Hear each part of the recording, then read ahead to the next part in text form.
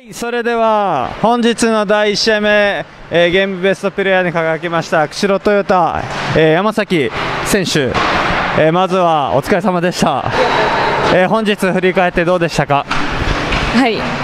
2失点はちょっと防げたのかのかなと思って悔しい気持ちがあります。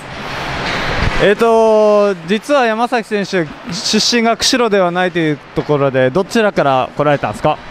岡山県から来ました。ホッケーをしに岡山から来たんですか？そうです。どうですか？釧路は。いやーホッケーがしやすい環境で周りの方とかも表情リンクだったり設備も整っててこれからもっともっと成長していきたいなと思います。わかりました。これからまたビアリーグもありますし、えー連盟でもされてるということで、えー目標を最後にお願いします。はい。今年1年はまだホッケーはやめないんですけど去年コロナでできなかった分悔いのないように精一杯やっていきたいと思います。わかりました。ありがとうございます。本日の第1試合目見事ゲームベストプレーヤー輝きました。釧路トヨタ山崎選手です。おめでとうございます。ありがとうございました。ありがとうございます